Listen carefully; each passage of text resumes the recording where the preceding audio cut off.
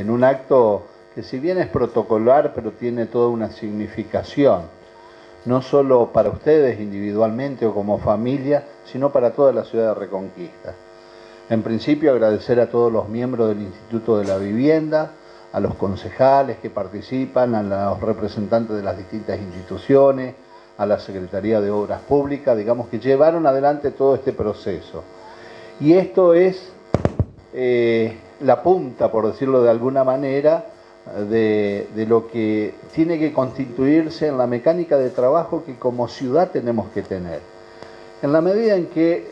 las necesidades no las desconocemos, existen, están y sabemos que son muchísimas,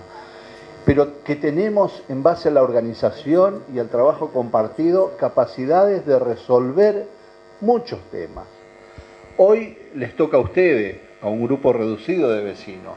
pero nosotros estamos mirando absolutamente todos los, todos los, eh, los barrios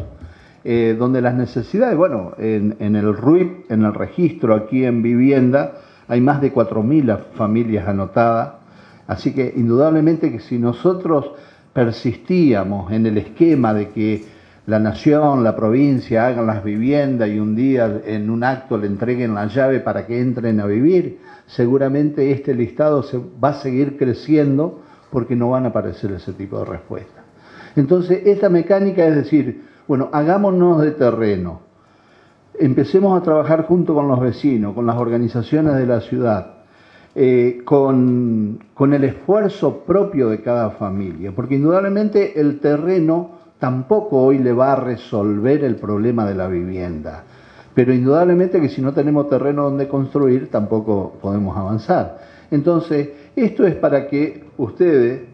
puedan ir haciéndose eh, propietarios, digamos, de, de, esta fracción y a partir de allí se comience a trabajar donde nosotros vamos a poner a disposición de ustedes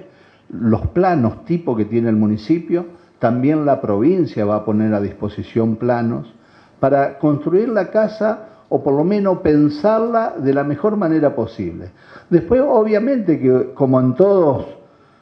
o en la gran mayoría de los casos de, las familias de Reconquista,